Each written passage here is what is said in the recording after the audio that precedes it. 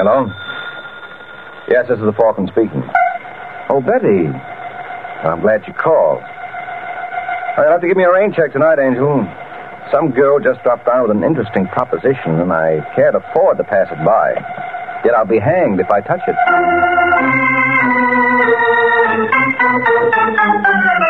This is Ed Hurley, friends, inviting you on behalf of the Kraft Foods Company to listen to The Adventures of the Falcon, starring Les Damon. You met the Falcon first in his best-selling novels. Then you saw him in his thrilling motion picture series. Now join him on the air when the Falcon solves the case of the Dutch doll.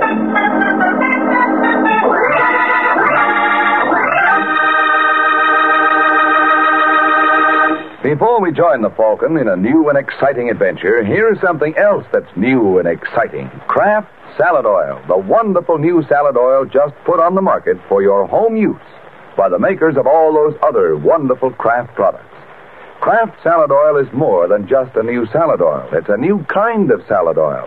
A lighter bodied oil designed to mix smoothly and perfectly with all the other ingredients you use in your homemade salad dressings, your delicious chiffon cakes, in fact, in every recipe you have that calls for liquid shortening. The reason Kraft Salad Oil is a lighter bodied oil is that it's made by a special process created by Kraft called superfining. The first time you try this wonderful new lighter bodied superfine salad oil, you'll know you've discovered something really new, really wonderful. So don't wait. Get Kraft Salad Oil tomorrow. Look for the bottle with the beautiful label.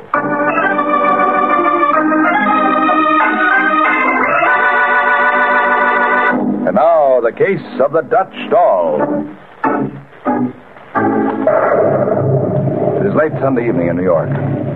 The kind of night where only Noah would feel at home. But Harry Roberts, the stocky gentleman in a wet overcoat, is no biblical character. Harry is Dutch Stevens' chief lieutenant, and right now he's on a mission for his boss. He tries the door of a nearby telegraph office. Finding it locked, begins banging on the glass. Hey, you. Open up. Come on, open up. What's the matter, you deaf? Just a second. Boy. I want to send a couple of wires. Oh, I'm sorry, mister. We're closed for the night. Well, open up again. Now, one oh, telegram... you don't goes- understand. It's a company rule. Well, change it. Hey, who do you think you are? Just a guy with a gun.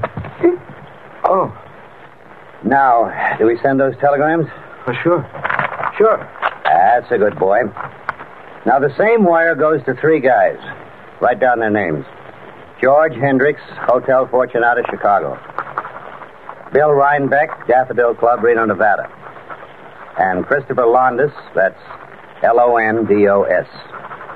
Hemsley Building, Los Angeles. Got that? Yeah. Must see you June 29th at my place, Must see you June 29th at my place, New York. New York. Anything else? No, that's all. Just sign it, Dutch Stevens. Dutch Stevens. Now, can you add a P.S. to the one going to Londos? You mean you want to continue the message to him? Dear, bright. Make it read, This is it, and sign it Harry. Just those three words. Don't worry, Buster. Mr. Londos is a smart boy. He'll catch on. Now, uh, start pounding that out. Mr. Christopher Londos. Hemsley Building.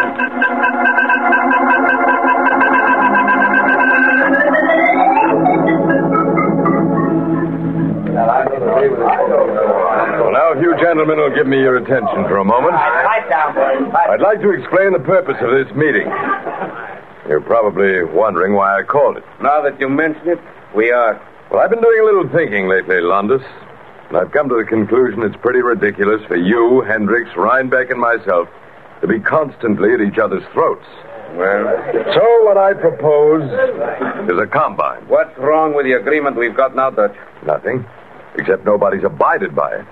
You, Londos, have been running joints in my territory. Now, look here, Stephen. Don't bother denying it, Chris. I caught four of your hoods in New York last week. And don't tell me they came to see the Empire State Building. What's the matter? Didn't you try to open a club in Los Angeles? Sure I did.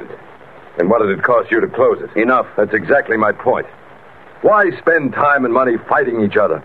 With one organization, we could cut down on overhead. I'm willing to bet now you'll increase your take at least 50%. And who is going to be head of this organization? I am. That's what I figure. And what's going to prevent you from, say, someday deciding you don't need Londos and freeze him out? I don't talk like a kid, Londos. No, I think I've got a very important point there. You there. don't know what you're saying. No, I think the rest of these boys are willing to go along. Am I right, gentlemen? Well, make up your mind, Londos. I think maybe I'd try it alone for a while. You're making a serious mistake. Could be. But you've got to prove it to me first. All right, Londos. And I don't imagine that it'll be quite as difficult as you think.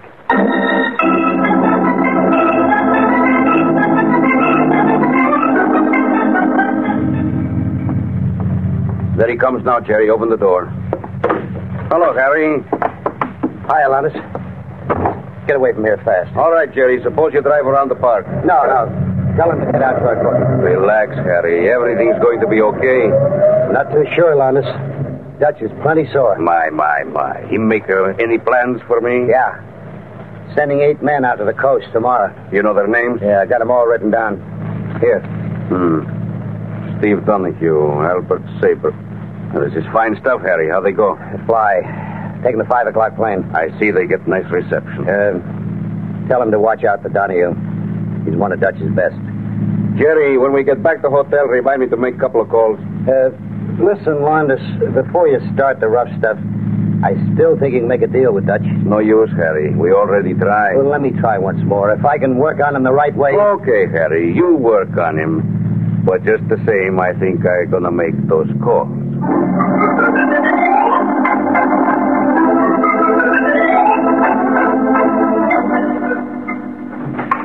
Is that you, Harry? Yeah, yeah, you you busy, Dutch? No, no. Come on in. What's on your mind? Well, look, Dutch, I uh, I don't know how to say this. You don't know how to say what. Well, I've been with you for a long time. Fifteen years, isn't it? Yeah. Never once did I open my yap and give advice when it wasn't asked for. But obviously now you'd like to break a precedent, huh? I think you're making a big mistake in the way you're handling Landis. Well, what would you suggest I do? Give him a separate deal. Well, why is he entitled to more than the others? Because he's a lot smarter. You're going to have trouble with him, Dutch. I doubt it. Look, boss, I, uh, I happen to know he'd take 10% extra. Well, how do you happen to know that? Well, one of his boys approached me. I thought I told you to stay away from him. I them. couldn't help myself, Dutch. They dropped in at the Hawk Club last Well, night. make sure it doesn't happen again. Yeah. See who that is. Okay. All right, hold your horses. I'm coming. Hello, Harry. Kinsella. Yeah, it's me, pal. Well, when did you get out? This morning, where's Dutch? Who is it, Harry? It's only me, Dutch. What are you doing here, Kinsella? I want to thank you. For what? Didn't you spring me? No. Oh, quit kidding, Dutch. Who else would go to bat for me with a parole board? I wish I knew. That's funny. I thought for sure you. Well, what difference does it make? It's good to see you, Dutch. It's been a long time. Not long enough. I don't know what ideas you had. Well, when I went to stir, you were supposed to look after things. And I did, Kinsella. Very capably, too, if I say so myself. And if you think you're coming back to get on my gravy train, you got another guess coming. So that's the way the wind blows. That's the way it blows. You got anything to say, Harry? He's the boss, Kinsella. I can see that. Mr. Big Shot in person. And I think we two are probably the only ones left to remember how he got his nickname. Never mind the reminiscing. Yeah, I guess it's a sign of old age. Okay, Dutch, take care of yourself. So long, Harry. So long. What's the matter, Harry? You look worried. I am. You don't think it's an accident that Kinsella showed up at this time? Don't you? No. I tell you, Dutch, I don't like it. I don't like it one bit. What you like, Harry, isn't too important. You could avoid all the trouble if you only made a deal with Londos. I told you I didn't want to discuss it further. Ah, for Pete's sake, don't be so pig-headed. You know it's possible for you to be wrong in a- Okay. Sorry I lost my temper, Harry. That's all right, boss. Forget it. After all, a big man like you is entitled to lose his head once in a while.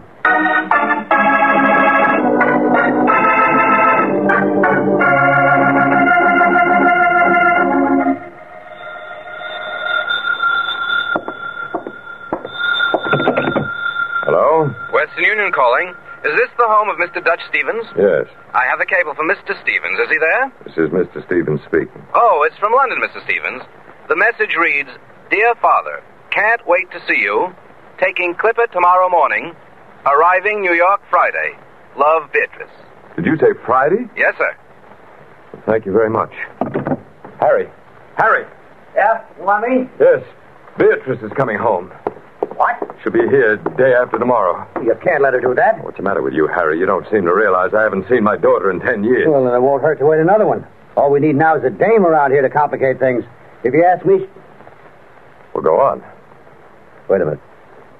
You see what I did? Where? Window. Well, you're imagining things, Harry. No. Get down, boy.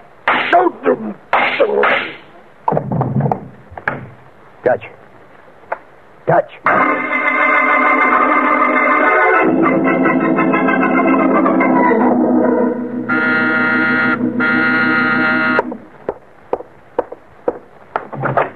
Yes? They told me I could find Michael Waring here. I don't know who the they are, but they told you right. Are you the one they call the Falcon? When they can't think of anything worse. What's your name? Beatrice Stevens. Well, come in. Thank you. Uh, sit down. If you don't mind, I'd rather stand. All right, suit yourself. Now, what can I do for you, Miss Stevens? Well, I don't know if you can do anything. Well, I certainly can't if I don't know the problem. Well, to begin with, Dutch Stevens was my father. And what is that supposed to mean? Just? So you believe those stories, too? What do you mean by those stories? That he was a common gangster. Well, wasn't he? No, it's a lie. You mean there was nothing common about him? My father was a great man, Mr. Waring. Those stories were spread by his enemies. But Daddy never harmed a soul in his life. Oh, it's too bad Capone isn't around to hear that. He would have enjoyed it. I won't have you talk that way about my father. Look, Miss Stevens, I know the Bible says honor thy parents, but believe me, they never had a guy like Dutch Stevens in mind. You're lying. Well, why do you think he was killed? I don't know. But it must be part of some gigantic conspiracy. Hey, wait a minute. You actually believe that, don't you? Of course. You never read about Dutch Stevens' exploits? No. Where have you been all these years? In England, at Bedford School. Oh, pretty fancy. You know it? Only by reputation. When was the last time you saw your father?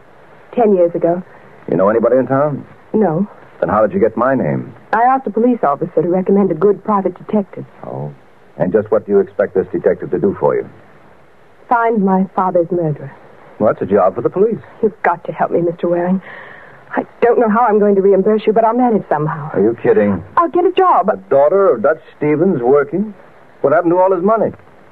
What money? Look, your old man was loaded, Beatrice. Rumor has it that in the last two years alone he managed to put away a couple of million. Now, where is it? I have no idea. Well, as his only child, you're entitled to it. Aren't you interested? No. Well, it interests me. Then you'll find out who killed my father. Uh, let's put it this way, Angel. I'll try and find out what happened to his money, and if, incidentally, I can turn up his murderer, that's so much velvet.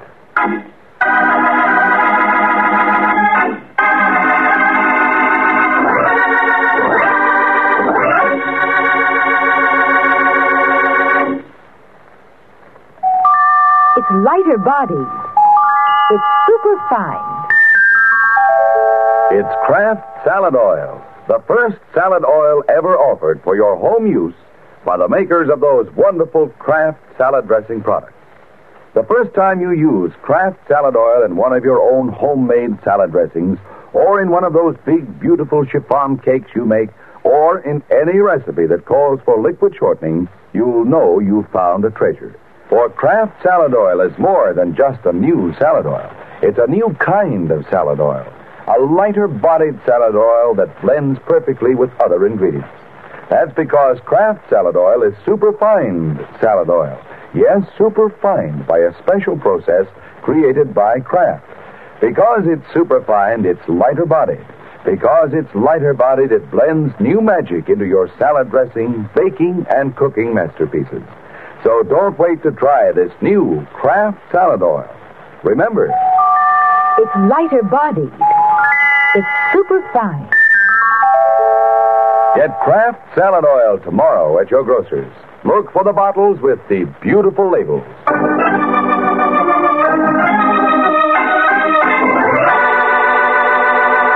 Now, back to the adventures of the Falcon. 24 hours have passed since Mike Waring was hired by Dutch Stevens' daughter Beatrice to discover her father's killer. And now we find the Falcon making the grand tour. And his first port of call is a small bar on 86th Well, well, if it isn't Jack Kinsella. Waring. When did you get out? A couple of days ago. You know, by rights, I ought to talk to you, Waring. Why did you refuse to help me when they framed me on that smuggling rap? Well, in the first place, I wasn't asked. Didn't Dutch Stevens try to hire you? Was he supposed to? Why, that dirty, rotten liar. That no good. Well, don't stop on my account, Kinsella. I'm over 21. So, friend Dutch gave you a double cross, huh? What do you think? I think if he did, he paid for it. Meaning you believe I gunned him, huh? The cops will decide that. You're barking up the wrong tree, man. Uh, well, look, Kinsella, you don't have to explain to me. I'm just interested in one thing. Would you know where I could locate Harry Roberts? Why? Because I'm working for Dutch Stevens' daughter. Beatrice? Yeah, you know her? I heard Dutch mention her once or twice. Well, she's a young lady of property, Kinsella, only we can't seem to locate the property. What's that got to do with Harry? Oh, I thought that being Dutch's closest friend, he might be the custodian. I wouldn't know.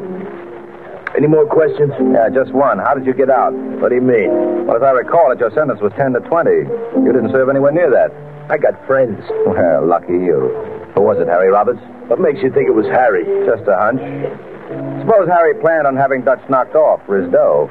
He might want you on the scene to take the rap. They're crazy as they come, Mike. Well, who got you parole? I told you. I got friends. Okay, Kinsella. Boy like you couldn't possibly have more than one, so it shouldn't be any great problem to run him down.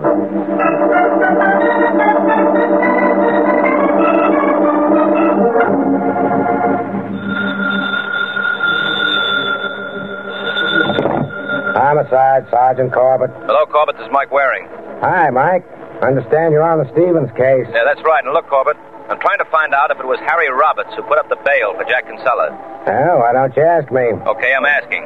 Kinsella apparently didn't know anything about it. From what I understand, it was put up by a fellow who's here from the coast, a guy named Christopher Londos.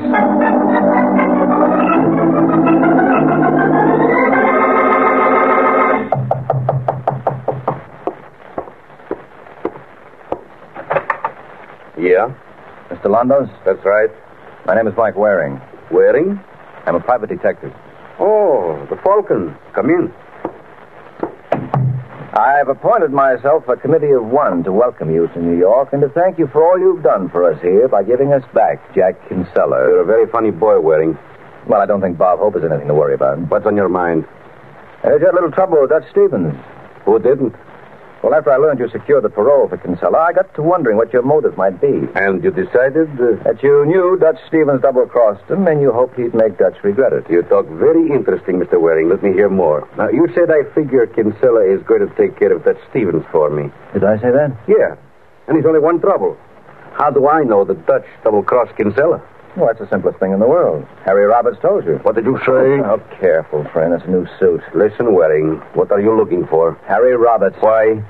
I think you may know what happened to Dutch Stevens' money. I'm working for Dutch's daughter. That's not a good enough reason, Waring. Take my advice. Stop looking.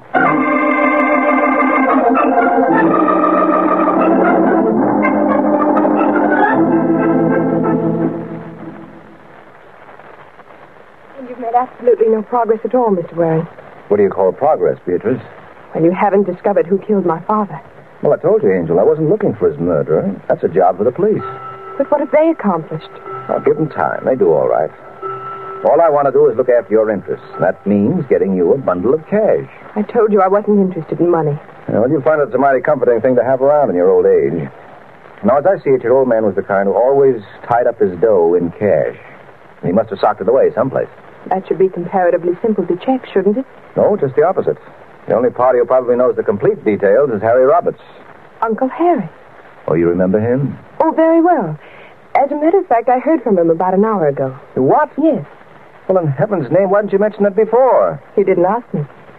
Oh, well, I guess that's a good enough reason. Where did you say he was? Is there such a place as the Kendrake? There's a Mandrake Hotel on Madison Avenue. Yes, that's the one. All right, what are we waiting for? Come on, I'll call a cab. and we- Don't bother Waring. I got a car. Mr. Waring, All right, all right. Nothing to be frightened of, Beatrice. This is Jack Kinsella. He's a former fraternity brother of your father's. You're a very comical fella. Didn't your new boss warn you? My new boss? Yeah, Chris Londos. What makes you think I'm working for him? Or aren't you? No, no, oh, sister. Where do you think you're going? Well, I thought I'd... Sure, but wait till Mr. Waring and I leave. Oh, I'm not leaving, Kinsella. I like it here. I don't blame you, but just the same, you and I are going to catch a little air. Mm, I guess you want me to catch it right through the middle, huh? That's the general idea. Mm, well, in that case... Why, you know... Look out, Mr. Waring! Oh, so you want to play rough, huh? Oh.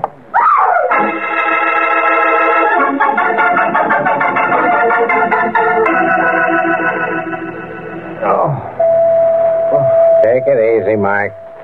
Who are you? Sergeant Corbett. Oh, naturally. What am I doing in a hospital? Never mind. I remember now. You're a lucky boy. Well, if your head felt like mine does, you wouldn't think so. At that, you shouldn't complain. If it hadn't been for Miss Stevens screaming, Kinsella might have killed you. Did you pick him up? Yeah, it was no trouble at all. Look, you want to hold on to him, Sergeant. I think you've got Dutch Stevens' killer there. Why? But what other reason would he have for coming after me? He claims he thought you were trying to pin it on him. I'm not trying to pin it on anybody. All I want is to find Harry Roberts. Oh, I can tell you that. You can. Well, where is Harry? In the morgue. What? In the morgue, Mike. And with three slugs in his brain, I don't think he's in the mood to do much talking.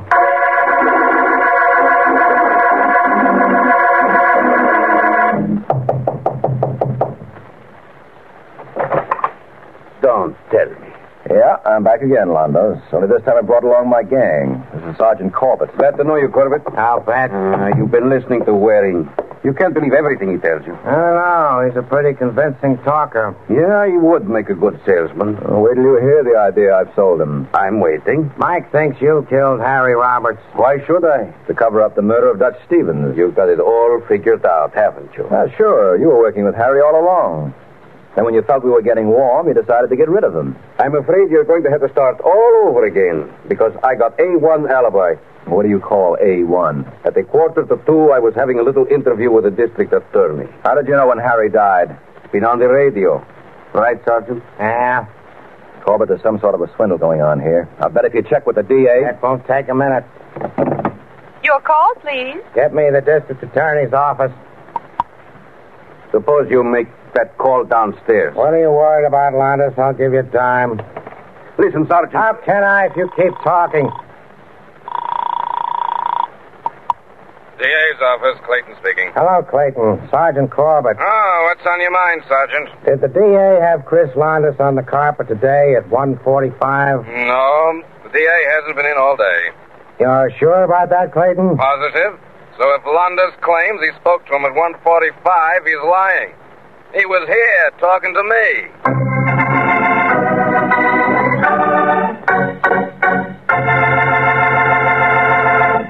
Tomorrow at your grocer's, remember to pick up a pint or quart bottle of wonderful new Kraft salad oil. The first salad oil ever offered for your home use by the makers of all those other wonderful Kraft salad dressing products. Try this new salad oil in your homemade salad dressings, your baking, your cooking. It's lighter bodied because it's super fine. Look for the bottles with the beautiful labels. Get Kraft salad oil.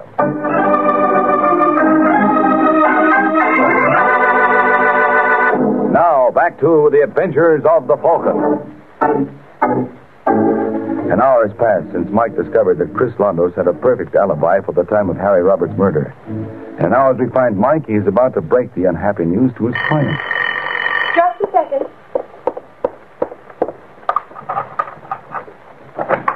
Hello, Beatrice. Oh, Mr. Waring. I thought you were in the hospital. Well, I didn't like the service. Did you hear about Harry Roberts? Yes. Who did it? I voted for Londos. Well, Well, they tossed out my ballot. He's got what the pulp writers call an ironclad alibi. couldn't one of his men have done it? Well, I never thought of that. Still, I didn't see anyone in their suite in the hotel. They might be staying somewhere else. Yes, you're right, Angel. But uh, there's a more immediate problem.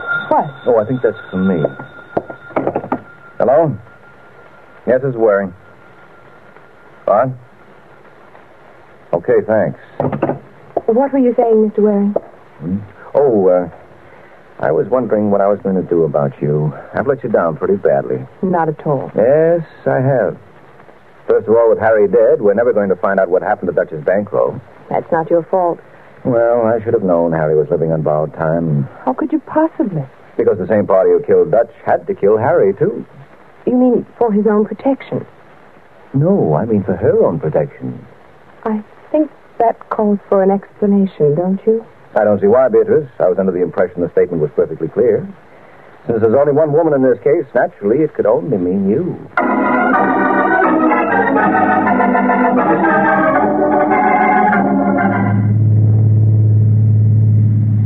Where do you want me to drop you, Mike? Oh, anywhere along here will be all right. I don't have to tell you how surprised I was when I got your call to pick up Dutch's daughter. Well, I got another surprise for you. She wasn't his real daughter. What? Sure. That's what put me on the right track. I don't get it. Well, I had two prime suspects in this case. One, Harry Roberts. And when Harry was murdered, obviously that ruled him out. Oh, that must have made him feel good. Number two was Chris Londos. And he had a perfect alibi. That's right, so I had to start looking again. And all of a sudden it occurred to me there was one wrong note in this opera. Beatrice? Yeah, she came to me with a story that she didn't know how she was going to pay me for my services because she thought her father was broke. Didn't make sense. Why not? Well, according to her own story, she spent the last ten years in a fancy boarding school in England. The money for her tuition had to come from somewhere. Uh, she overplayed her hand. Uh, once I hit on that, the rest was easy. So, I checked Scotland Yard. Uh-huh. And there you learned the real Beatrice Stevens was still in London. Yeah, this gal was just trying to pick up a fast million by posing as Dutch Stevens' daughter. Hey, how about that? How about what? All that filthy lucre being buried somewhere. Think it'll ever turn up? Uh, I doubt it. You know, a man could do a lot with that kind of money. Why don't you try to find it, Mike? Oh, I'm the practical type, Corbett. If I'm going to spend my time looking, I'd sooner hunt for something more interesting. What's more interesting than money? Women. So let me off at the next block, and I'll start my search there.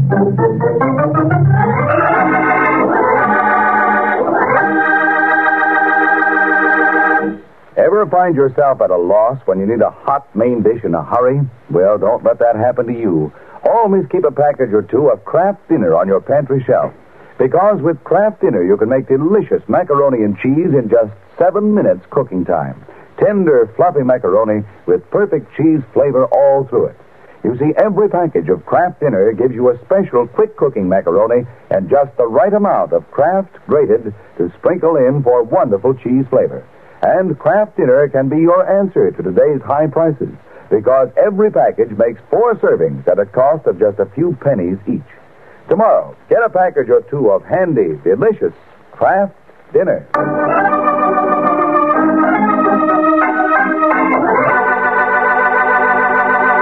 The case of the curious cop. The case of the curious cop. That's the title of next week's adventure of the Falcon when Mike Waring learns that for some special problems, a policeman has a Colt special answer. So be sure to listen at the same time next week to another exciting adventure of the Falcon, brought to you by the Kraft Foods Company. The Adventures of the Falcon are based on the famous character created by Drexel Drake, produced by Bernard L. Schubert, written today by Eugene Wang, and directed by Richard Lewis. Music was by Arlo. Les Damon was starred as the Falcon, with Ken Lynch as Sergeant Corbett. Be sure to hear the Great Gildersleeve next Wednesday evening over most of these stations. In next Wednesday's broadcast, Gildy comes face to face with a hilarious problem and solves it in a way that will keep you laughing for days. Remember the show, the time, and the place. The Great Gildersleeve next Wednesday evening over most of these stations. Check your local newspaper for time of broadcast. This is Ed Hurley speaking for the Kraft Foods Company. Rosalind Russell and Melvyn Douglas both star on Theater Guild tonight on NBC.